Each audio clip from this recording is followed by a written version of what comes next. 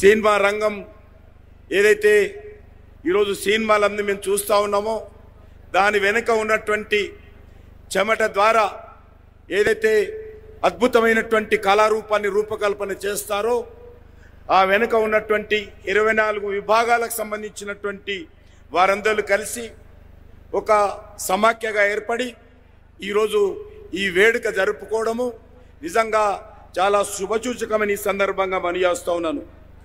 మనకు తెలుసు ఈరోజు తెలుగు సినిమా రంగం ప్రపంచంలో అద్భుతమైనటువంటి గుర్తింపు తెచ్చుకున్నాం. జాతీయ అంతర్జాతీయ స్థాయిలో కూడా మన తెలుగు సినిమా రంగం ఈరోజు పేరు తెచ్చుకున్నదంటే దాని వెనుక నిర్మాతలతో పాటు దర్శకులతో పాటు ఆర్టిస్టులతో పాటు మీ యొక్క పాత్ర కూడా అద్భుతంగా ఉన్నదనే విషయాన్ని ఈ సందర్భంగా వస్తా ఉన్నాను.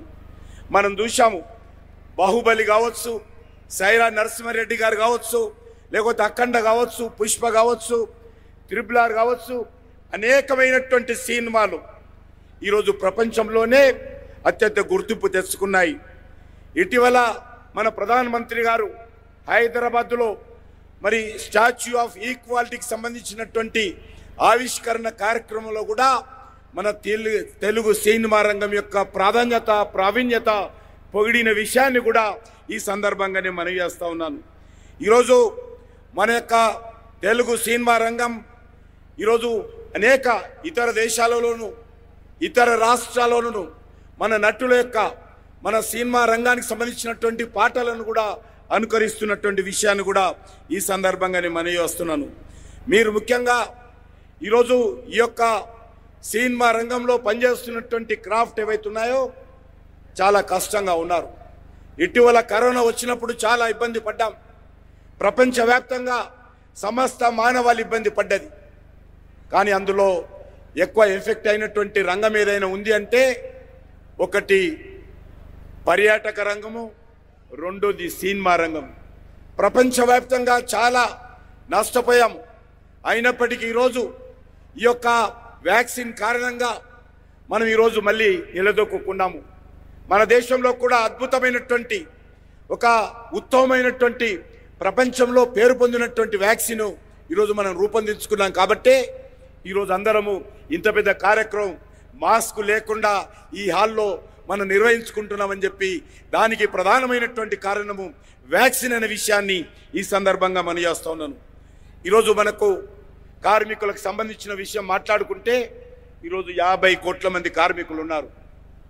అందులో ఐదు కోట్ల మందికే సంఘటిత రంగంలో ఉన్నారు.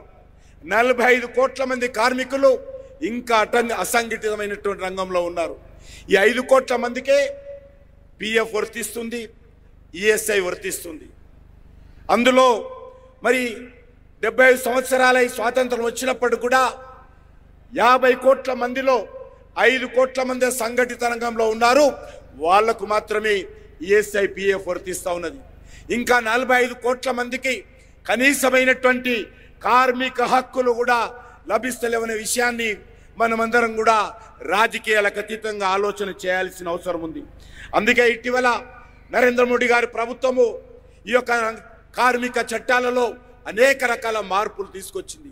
అనేక చట్టాలు బూజు పట్టినటువంటి చట్టాలు పనికినటువంటి చట్టాలను మార్చివేసి కార్మికులకు సంబంధించి అన్ని చట్టాలను కలిపి నాలుగు చట్టాలుగా ఈరోజు అన్ని కార్మిక సంఘాలతో చర్చించి అందరికీ ఆమోదయోగమైనటువంటి కార్మిక చట్టాలను రూపకల్పన చేయడం జరిగింది. అందుకే ఈ యొక్క చట్టాలు ఏవైతున్నాయో ఇరవై తొమ్మిది చట్టాలు ఉండేటివి. దాన్ని నాలుగు చట్టాలుగా తీసుకొచ్చాము. అదే కాకుండా ఇందులో ప్రధానంగా మీ అందరికీ మనవి చేస్తూ ఉన్నాను. తెలుగు కార్మిక రంగంలో చాలా అద్భుతమైనటువంటి సోషల్ సెక్యూరిటీ కోడ్ అనేటువంటి ఒక చట్టాన్ని తీసుకురావడం జరిగింది. ఈ చట్టము తప్పకుండా సినిమా రంగంలో పనిచేస్తున్నటువంటి ఇరవై నాలుగు క్రాఫ్ట్ కార్మికులకు కూడా ఎంతో ఉపయోగపడుతుంది. అది నేను మీ ముందు పెట్టదలుచుకున్నాను. ఈరోజు నేషనల్ సెక్యూరిటీ బోర్డు అనేటువంటి బోర్డు జాతీయ స్థాయిలో ఏర్పాటు కావాలి. అదేవిధంగా మన రాష్ట్ర స్థాయిలో కూడా state unorganized workers social security board ఇది రాష్ట్ర స్థాయిలో కూడా ఏర్పాటు కావాలి. ఈ బోర్డుల ఆధీనంలో అసంఘటితమైనటువంటి కార్మికులు ఎవరైతే ఉన్నారో వాళ్ళకు మేలు జరిగే విధంగా ఈరోజు మనం చర్యలు తీసుకోవాల్సిన అవసరం ఉంది. నేను ఇంతకుముందు చెప్పినట్టు ఈరోజు ప్రావిడెంట్ ఫండ్ కింద దేశంలో ఈరోజు ఐదు కోట్ల ఆరు కోట్ల మంది మాత్రమే పిఎఫ్లో ఉన్నారు. యాభై కోట్ల మందిలో డెబ్బై ఐదు సంవత్సరాలుగా మరి ఆరు కోట్ల మందే ప్రావిడెంట్ ఫండ్ పరిధిలో ఉన్నారు. అదేవిధంగా ఈఎస్ఐకి సంబంధించి ఈ దేశంలో మూడున్నర కోట్ల మంది మాత్రమే ఉన్నారు. కాబట్టి మనము ఈ నలభై ఐదు కోట్ల అసంఘటిత కార్మికుల గురించి ఆలోచన చేయాల్సిన అవసరం ఉంది. అందుకే ఈరోజు ఒక చట్టాన్ని భారత ప్రభుత్వము ఈరోజు ఈ యొక్క నేషనల్ సెక్యూరిటీ సోషల్ సెక్యూరిటీ కూడా అనేటువంటి చట్టాన్ని మీ ముందు తీసుకురావడం జరిగింది. ఈ చట్టం ద్వారా ఈ యొక్క ట్రైపార్టెడ్ బోర్డు ద్వారా అసంఘటితమైనటువంటి కార్మికులకు ఈఎస్ఐ కానీ పిఎఫ్ కానీ మెటర్నిటీ సౌకర్యాలు కానీ ఓల్డేజ్ పెన్షన్ కానీ యాక్సిడెంట్ ఇన్సూరెన్స్ కానీ గ్రాట్యుటీ పేమెంట్ కానీ అనేక సౌకర్యాలు ఈ చట్టం ద్వారా మీ అందరికీ లభించబోతా ఉన్నాయనే విషయాన్ని ఈ సందర్భంగా నేను మనవి చేస్తున్నాను. అదేవిధంగా ఈ చట్టము గత సంవత్సరమే కరోనా సమయంలో ఈ చట్టాన్ని పాస్ చేయడం జరిగింది. ఇది రాష్ట్ర స్థాయిలో బోర్డు కాన్స్టిట్యూట్ చేయాలి. నేషనల్ లెవెల్లో బోర్డు కాన్స్టిట్యూట్ చేయాలి. పార్లమెంటు ఆమోదం అన్ని రాజకీయ పార్టీల సహకారంతో పార్లమెంటులో ఈ చట్టానికి ఆమోదం లభించింది. అంతేకాకుండా ఈరోజు మీ అందరికీ మనవి చేస్తున్నాను ఈ చట్టం అమలులోకి రావాలంటే మీకు ఉపయోగపడాలంటే మీరు ఈ చట్ట పరిధిలో రావాలంటే మీరందరూ కూడా ఈ శ్రమ కార్డు తీసుకోవాలి. ఈరోజు ఉచితంగా భారత ప్రభుత్వము ఈ శ్రమ కార్డ్స్ ఇస్తా ఉంది. ఈ శ్రమ కార్డు తీసుకున్నట్లయితే మీకు ఈ చట్ట పరిధిలోకి వస్తారు. ఇప్పటికే ఇరవై ఎనిమిది కోట్ల ఈ శ్రమ కార్డ్స్ ఈరోజు కార్మికులకు ఇవ్వడం జరిగింది. కాబట్టి ఇక్కడ ఉన్నటువంటి కార్మికులకు అందరికీ మనం చేస్తూ ఉన్నాను. మీరందరూ కూడా ఈ శ్రమ కార్డ్స్ తీసుకోండి. త్వరలోనే ఇక్కడ కార్మిక శాఖ మంత్రి తెలంగాణ ఉన్నారు. వారు కూడా రాష్ట్ర స్థాయిలో ఈ బోర్డు ఏర్పాటు చేసినట్లయితే ఈ యొక్క ఈ శ్రమ కార్డు ఉన్నటువంటి వాళ్ళందరికీ కూడా నేను పైన చెప్పినటువంటి అన్ని రకాల సౌకర్యాలు అందుబాటులోకి వస్తాయి. ఈ సదుపాయాన్ని అందరూ ఉపయోగించుకోవాలని మనం చేస్తున్నాను.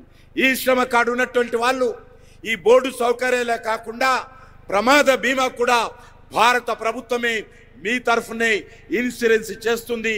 అది కూడా మీరందరూ పొందాల్సిందిగా నేను మనవి చేస్తా ఉన్నాను. అదేవిధంగా ఈరోజు మినిమం వేజెస్ యాక్ట్ ఏదైతే ఉన్నదో దేశవ్యాప్తంగా పద్దెనిమిది నుంచి పద్దెనిమిది వేల రూపాయలు ఇవ్వాలని నిర్ణయం తీసుకోవడం జరిగింది. అది కూడా సక్రమంగా అమలు జరగాల్సి ఉంది ఆ విషయం కూడా నేను ఈ సందర్భంగా మీకు మనీ వస్తూ ఉన్నాను. అంతేకాకుండా ఈరోజు కార్మికులు హౌసింగ్ స్కీమ్ గురించి కూడా మాట్లాడడం జరిగింది. తప్పకుండా హౌసింగ్ స్కీమ్ కూడా అందరం కూడా ఈరోజు ఏర్పాటు చేసుకోవాల్సినటువంటి అవసరం ఉందనే విషయాన్ని ఈ సందర్భంగా మనవి చేస్తూ ఈ కార్యక్రమానికి రావడానికి ప్రధాన కారకులైనటువంటి మిత్రులు గౌరవనీయులు మరి మెగాస్టార్ చిరంజీవి గారికి మరొకసారి హృదయపూర్వకమైనటువంటి ధన్యవాదాలు తెలియజేస్తూ సెలవు తీసుకుంటున్నాను.